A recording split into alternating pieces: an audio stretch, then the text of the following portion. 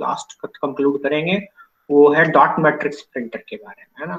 तो dot matrix printer already we have talked too much about so many points about dot matrix printer let's focus on the technology technology पे बात करते हैं हम लोग, कि है क्या चीज़? तो ये यहाँ पे कुछ पॉइंट्स वही सारे जो मैंने डिस्कस किया है उसी लेकिन कुछ न्यू पॉइंट्स भी जो कि आपको मिलेगा यहाँ पे।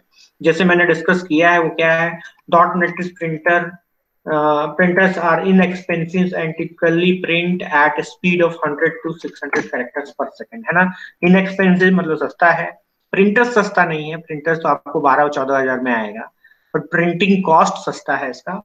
एंड स्पीड uh, जो है printing speed hundred to six hundred characters per second not minute second okay तो ये तो जनरल बात है जो हम लोग पहले भी कर चुके हैं।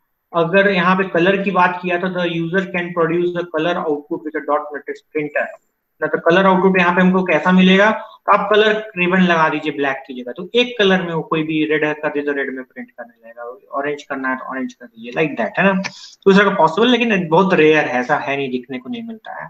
मोस्टली हम लोग जो यूज़ करते हैं वो एक ऐसा यूज़ करते हैं। अभी क्या है डॉट मैट्रिक्स प्रिंटर्स जो मार्केट में अवेलेबल है, वो नाइन पिंस या ट्वेंटी फोर पिंस में अवेलेबल है ना? जो प्रिंटर का हेड है it either contains nine pins और वायर्स और ट्वेंटी फिफ्थ पिन चाहे तो नौ पिन हुआ है, चाहे चौबीस पिन चाहे पिन बोलिए, चाहे वायर से। आगे दिखाऊँगा मैं कैसा है। ठीक है? These pins produce patterns of dots on the paper to form individual character. मतलब dot dot dot A print करना है तो डॉट डॉट डॉट के फॉर्म में आपको ये प्रिंटेड दिखाई देगा है ना?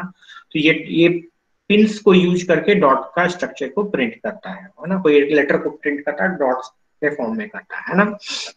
जितना ज़्यादा पिंस है, उतना बेटर प्रिंटिंग क्वालिटी मिल जाएगा तो है ना? तो the 24 pin dot matrix printer produces more dots than a 9-pin dot matrix printer, which result in much better quality and clear characters है ना? बोले 24 पिंस का जो डॉट मैट्रिक्स प्रिंटर है वो उसका ज़्यादा नंबर ऑफ़ डॉट्स यूज़ करता है मतलब बेटर क्वालिटी नाइन पिन के रेस्पेक्ट में है ना?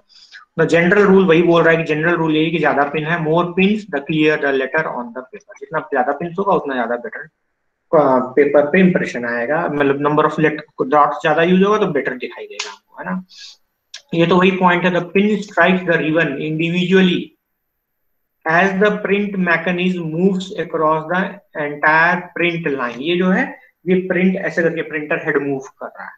और जैसे जैसे वो मूव करता जा रहा है वैसे वैसे अलग अलग पिन उसको आ, आ, वैसे वैसे अलग अलग पिन जो है उसको प्रिंट करता हिट करता जाता है ताकि इन डॉट्स फॉर्म होता जाए। From left to right and then right to left left से राइट गया, फिर राइट से लेफ़्ट फिर लेफ़्ट से राइट गया। ये क्या मूव कर रहा है? तो this is basically moving your head from left to right and right to left और साथ में दूसरा मैकेनिकल क्या हो रहा है कि साथ में वो पिंस जो है हिट करता चला जा रहा है। Hit hit H I T hit है ना? हीट नहीं हिट टकरा रहा है स्ट्राइक कर रहा है। So, these are the key points about dot matrix printer. Let's see the printer कैसा दिखता है, ये ऐसा दिखाई देता है। आप लोगों ने रेलवे स्टेशन पे ज़रूर देखा होगा इस प्रिंटर को ये यहाँ से पेपर का इनपुट है और इधर से फिर रोलर पूरा पेपर लगा हुआ है, वो अपने ऑटो फ़ीड है, अपने आप वो पेपर लेते चला जाएगा। पेपर्स कनेक्टेड है एक दूसरे से और मतलब बिग रोल जो है अवेलेबल रहता है, जिसमें सौ पेज रहेगा। आप एक साथ में कनेक्ट कर देंगे तो ऑटो फ़ीड होगा। वो पेपर इधर से होके ये यहाँ पे जगह जो आप देख रहे हैं, ये ग्लास का मटेरियल ये ग्लास सिरेमिक मटेरियल का बना हुआ ये है। ये इसको आप जब ओपन करेंगे कवर को तो यहाँ पे आपको हेड भी दिखाई देगा, इस जगह पे आपको ड्रम भी दिखाई देगा, इसी जगह पे पेपर और रिबन रहता है ना? तो वो यहाँ पेपर आएगा फाइनली पेपर दूसरी तरफ़ निकलता चला जाएगा, है ना? दिस इज़ ये डॉट मेटर प्रिंटर अब ये ये जो इमेज देख रहे हैं आप लोग, ये एक हेड का इमेज है ना? This is a printer head dot matrix printer का हेड है ये मेटल का बना हुआ है ये बेसिकली ऐसे रहेगा है ना इसको ऐसे आप टिल्ड कर दीजिएगा तो ये यहाँ पे आप देख रहे हैं अगर ध्यान से इस जगह पे यहाँ पे दो रोज है टू रोज ऑफ़ पिंस आते हैं यहाँ पे दो रोज ऐसा करके दो रोज बोल लीजिए आप दो कॉलम बोल लीजिए तो ऐसा करके जब प्रिंटर हेड को आप सीधा कर देंगे तो टू ऐसा कॉलम दिखाई देगा यहाँ पे dot dot dot dot dot dot dot dot बारह पिन ये चौबीस पिन वाला है एक बार साइड में बारह, दूसरे साइड में बारह, है ना? और ये जो पिंस दिखाई दे रहा है these are basically your supply pin for ये चौबीसों पिन जो दिख रहा है, उन चौबीसों पिन के लिए ये सप्लाई पिन दे रहा है। सप्लाई पिन है। यहाँ से देखिए, यहाँ पे एक कनेक्टर लगा हुआ है। इस कनेक्टर से हम लोग डेटा केबल को कनेक्ट करते हैं। यहाँ पे अगर आप काउंट करेंगे तो one two three four five six seven eight nine ten eleven twelve thirteen fourteen fifteen sixteen seventeen eighteen nineteen twenty twenty one twenty two twenty three twenty four twenty five twenty six twenty seven twenty eight twenty nine thirty तब आप बोल रहे हैं, sir, चौबीस minute के तीस क्यों है? तो चौबीस क्या होता है? कि चौबीस वायर्स को, हर को दो एक ये कहा जाएगा? तो ये क्वाइल में कनेक्टेड है ना? ये जो हेड है हेड के अंदर क्या क्या है मैं दिखाऊँगा अभी आपको थोड़ा सा जहाँ जितना मैं दिखा पाऊँगा आज आज नहीं तो फिर अगले क्लास में फिर मैं दिखाऊँगा आपको। तो अंदर में क्या है? कि पिंस का आप लोगों ने देखा होगा, बाँस का फिशिंग के लिए हम लोग एक नेट यूज़ करते हैं कैसा सिलेंड्रिकल कोनिकल टाइप का नॉट सिलेंड्रिकल कोनिकल टाइप का, जो यहाँ पे नैरो है और यहाँ पे वाइड होता चला गया है है ना? और वो हम लोग, वो आपस में टाइड अप रहे, उसके लिए बाँस का ही बैम्बो का ही हम लोग रोप बना करके उससे उसको टाई अप कर देते हैं दूसरे को आपस में। और यहाँ पे फाइनली नेट लगा हुआ होता है। तो ये जो पिन का जो अरेंजमेंट है, वो भी ऐसा ही अरेंजमेंट है ना? और उसके पीछे में जस्ट पिन पिन का ये यहाँ खत्म हुआ तो इसके पीछे में मेटल का सीट रहता है है ना? जो कॉनिकल टाइप का सीट रहता है। मैं दिखाता हूँ सब, इन सब चीज़ों को। पहले इस जगह पे देख लीजिए। तो होता क्या है कि वो सीट है, उस सीट के नीचे में क्वाइल रहता है। It is also it also work on electromagnetic principle ये भी जो काम करता है प्रिंटर वो इलेक्ट्रोमैग्नेटिक प्रिंसिपल पे काम करता है। कैसे करता है?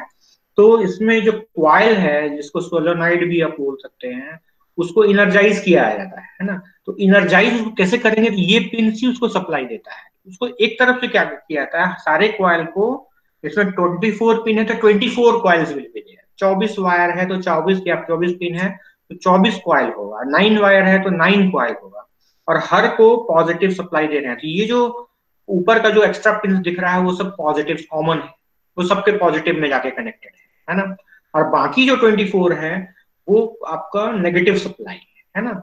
तो पॉजिटिव सप्लाई से सारे पिन ऑलवेज कनेक्टेड रहते हैं। जब कंप्यूटर से सिग्नल मिलता है पर्टिकुलर करेक्टर को प्रिंट करने के लिए तो उसके हिसाब से प्रिंटर अकॉर्डिंगली कौन से पिन को उसको प्रिंट करना है हिट करना है, उसको सिग्नल भेजता है। उसको जिसको सिग्नल भेजेगा तो नेगेटिव में सिग्नल मिलने लगेगा। तो ये नेगेटिव में जब आप सिग्नल दे देंगे तो वो वाला पिन जिससे कनेक्टेड है, वो आपको जाकर के स्ट्राइक करेगा, है ना? तो ये बेसिकली उस सप्लाई लेने के लिए ऊपर वाला जो पिन है वो कॉमन है है ना? कॉमन पिन इसमें कुछ मार्क होगा जो नहीं, ऊपर वाला ही पिन होगा। कुछ पिन मार्क्ड होगा जो कि कॉमन होगा, बाकी ट्वेंटी फोर पिन जो है वो नेगेटिव सिग्नल को लेके जा रहा है ना? एक तरफ़ से पॉजिटिव जैसे नेगेटिव मिलेगा सर्किट कंप्लीट होगा वो स्ट्राइक करेगा। जनरली इस पर्टिकुलर फॉइल को एनर्जाइज करने के लिए आठ से लेके बारह वोल्ट तक का सप्लाई चाहिए होता है। डीसी सप्लाई डीसी सप्लाई आप आठ से बारह वोल्ट का दे देंगे। तो आप अगर हेड को निकाल लें और आप अगर एक डीसी सप्लाई या एस ले लीजिए और आप उसमें से एक बारह नेगेटिव एंड पॉजिटिव दोनों ले लीजिए तो कॉमन में पॉजिटिव कनेक्ट कर दीजिए और नेगेटिव पर्टिकुलर पिन पे आप जाके कनेक्ट करेंगे तो वो वाला पिन हिट करेगा। तो आपको पता चल जाएगा हाँ ये वाला पिन है। और वो आप पिन देखेंगे बाहर निकल रहा है स्ट्राइक कर रहा है है ना? इस तरह से आप प्रिंटर के हेड को चेक भी कर सकते हैं। अलग अलग एक एक, एक सारे पिन पे आप नेगेटिव सप्लाई को कॉमन को एक कनेक्ट करके एक जगह छोड़ दीजिए आपस में सॉर्टेड होगा सारा कॉमन है ना? और नेगेटिव को चेंज करते रहिए तो आप देखेंगे कि हर बार अलग अलग पिन जो है स्ट्राइक कर रहा है, निकल रहा है स्ट्राइक कर रहा है, निकल रहा है स्ट्राइक कर रहा है। इस तरह से आप ये भी देख सकते हैं कि कौन सा पिन स्ट्राइक नहीं कर रहा है। नहीं कर रहा है मतलब उस पिन में प्रॉब्लम है ना? तो आइए इसका इंटरनल तो इसका असेंबली जो अगर हम लोग बोले तो क्या क्या है? तो पिन का अरेंजमेंट है नाइन पिन है अलग अलग हेड्स में आपको पहले दिखा दूँ, फिर उसके बाद में देखिए। ये देखिए, ये हेड है।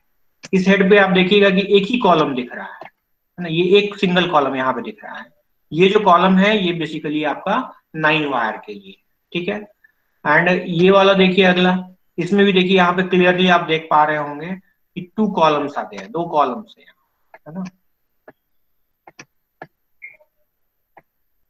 यहाँ पे देखिए ये ये दो कॉलम्स दिखाई दे रहा है। तो बारह बारह पिन का यहाँ पे कनेक्शन है, ठीक है? ये जो मैं बात कर रहा था जैसे मैंने एक इमेज डाउनलोड किया था बाँस का स्ट्रक्चर लिटरली उसका मुझे मिल नहीं पा रहा था तो ये किस तरह का एक स्ट्रक्चर रहता है? ये आ, आ, ये जो है ये हेड का आउटर जो आपको दिखाई दे रहा था ये बाहर का हिस्सा है जो बाहर से आप देख रहे और ये इंटरनल ये है। ये तो बहुत सारा दिख रहा है। ये इतना अगर 24 वायर है तो 24 पिन ही रहेगा और 9 वायर है तो 9 वायर 9 पिन रहेगा है ना?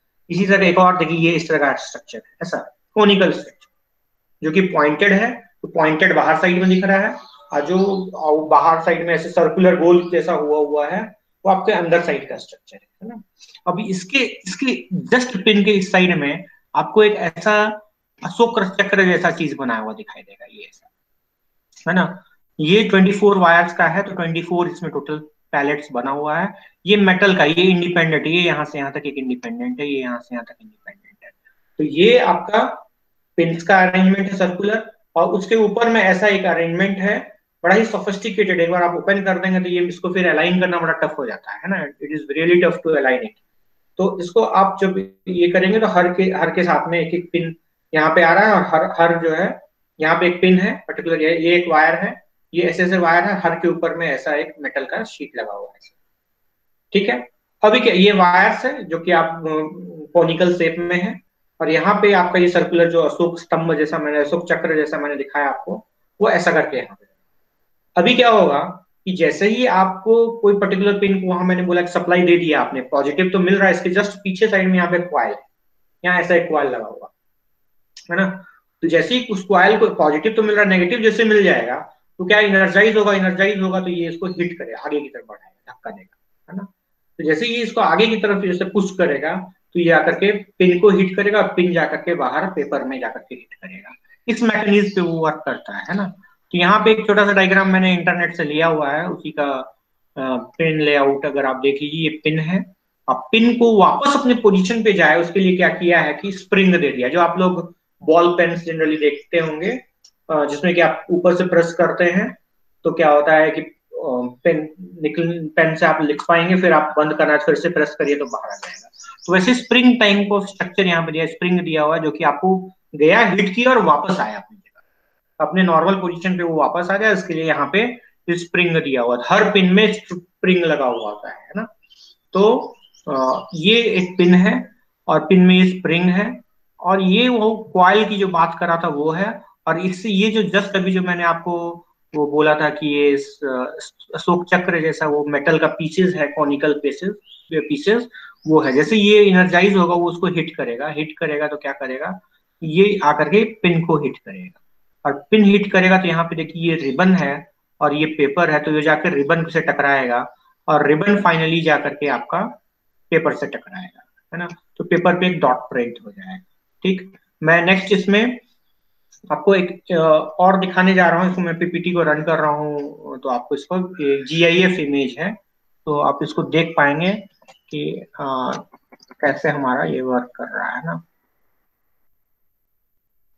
ये देखिए ये यहाँ पे आप अगर देख रहे हैं इसको ये तो ये इसका ये जो है इसका ग्राफ है दिखा रहा है है ना। ये दोनों अलग अलग इमेजेस है तो ये आपका आर्मेचर इसको बोल रहा है जो कि हम मेटेलिक पीस ले रहे हैं कोनिकल शेप का।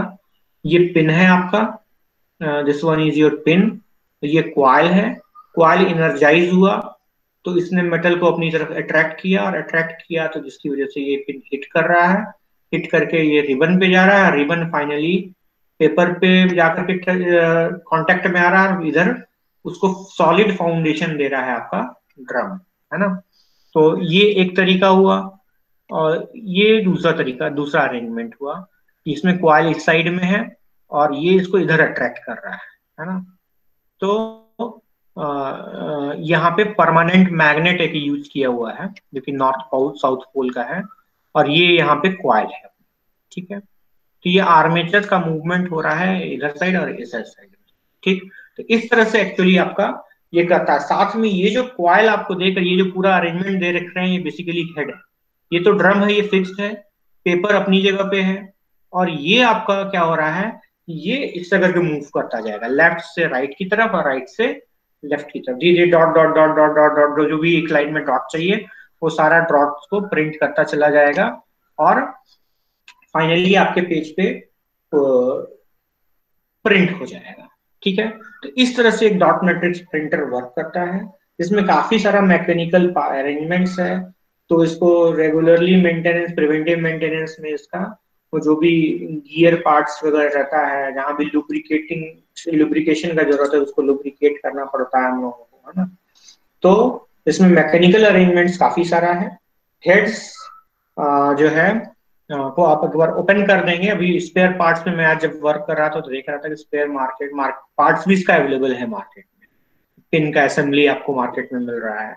लेकिन इसको असेंबल करना रियली टफ जॉब है, क्योंकि एक बार जब आपने ओपन कर देते हैं तो जो 24 फोर वायर्स के लिए अलग अलग आर्मेचर्स लगा हुआ है उस आर्मेचर को अलाइन करना क्वाइल के साथ में वो रियली टफ है है ना? तो इसका क्वाइल लगभग देखने में आप जो हार्ड डिस्क का क्वाइल आप लोगों ने देखा था वॉइस क्वाइल में वैसा ही क्वाइल दिखाई देता है अंदर से ऐसा राउंड किया हुआ क्वाइल जस्ट इसके नीचे में आर्मेचर के नीचे ऐसे इस जगह से।